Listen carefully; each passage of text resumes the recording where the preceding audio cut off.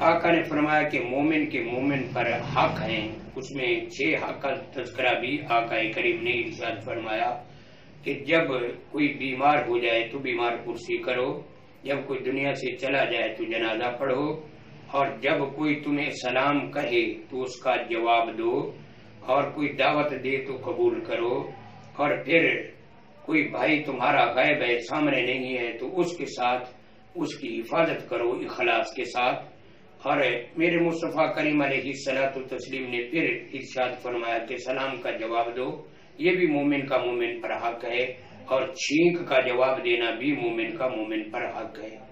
آج جس معاشرے میں ہم گزار، جو ہے، جا رہے ہیں، اس میں نہ تو چھینک کا جواب ہے، نہ سلام کا جواب ہے، بلکہ ہم نے سلام کو بھی بدل دیا ہے۔ اس کو بچوں کو سکھانے میں بھی ہم انتہائی بخل سے کام لیتے ہیں۔ حضرت جابر رضی اللہ تعالی عنہ فرماتے ہیں کہ آقا کریم محبوب کریم علیہ سلاۃ و تسلیم کے پاس ایک شخص آیا کہ میرا ایک کھجور کا درخت ہے اور وہ کھجور کا درخت جو ہے میرے باغ کے ساتھ ہے، لیکن وہ جو شخص آتا ہے، اس سے مجھے تکلیف پہنچتی ہے۔ تو آقا کریم نے پیغام بھیجا اس کو کہ اس کو مجھے فروخت کر دو۔ اس نے کہا جی میں نہیں کر سکتا۔ یہ ترغیب تھی کوئی حکم نہیں تھا۔ تو پھر آقا کریم نے ارشاد فرمایا کہ اگر تم جو ہے بیچنا نہیں چاہتے تو ہدیہ کر دو۔ اس نے کہا جی یہ بھی نہیں کرنا۔ تو پھر آقا کریم نے فرمایا کہ جنت میں اس کے بدلے میں درخت۔ تو اس نے اس کو بھی قبول نہ کیا۔ تو آقا کریم نے ارشاد فرمایا، میں نے تجھ سے بڑا کنجوس نہیں دیکھا، سوائے اس کے کہ جو سلام نہیں کہتا ہے۔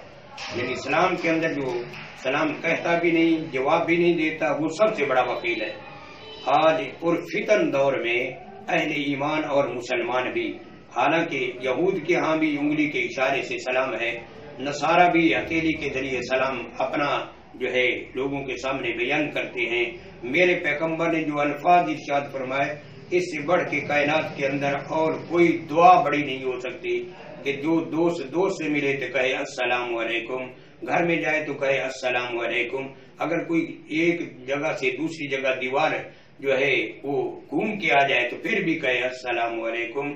تو سلام میرے مصطفیٰ کریم علیہ سلاۃ و تسلیم نے اس کو جو ہے سنت ثابتہ قرار دیا۔ اور پھر کہیں یہ مستحب ہوتا ہے تو کہیں واجب ہوتا ہے۔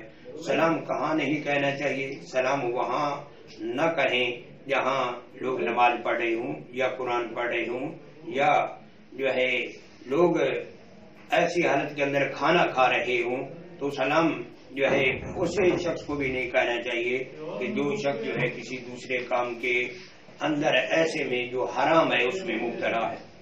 تو سلام کے لحاظ سے جو آج موجودہ دور میں جو ہے ہم نے اس کو گھر لیا، papa, tata, bye bye, goodbye bye bye. تو ہم بچوں کو بھی وہی سکھا رہے ہیں اور بڑے بھی اسی طریقے کے اوپر چل پڑے ہیں۔ ایک مرتبہ سلام کہنا، السلام علیکم ورحمۃ اللہ۔ پندرہ نیکیاں ہیں۔ اور پھر اس کا جواب دینا یہ بیس نیکیاں ہیں۔ تو سلام جو ہے، یہ شاعر اسلام میں سے ہے۔ اگر آپ چاہتے ہیں کہ محبتیں پیدا ہوں، تو پھر اس کو پھیلاؤ اور چھوٹا بڑے کے جو ہے سلام کرے، جو کھڑا ہے بیٹھے ہوئے کو، جو چلنے والا ہے وہ بیٹھے ہوئے کو سلام کرے، سوار بیٹھے ہوئے کو سلام کرے۔ اور اس پرفتن دور میں، اس سنت کو جو پیارے آقا کی پیاری سنت ہے اس کو زندہ کرنا چاہیے۔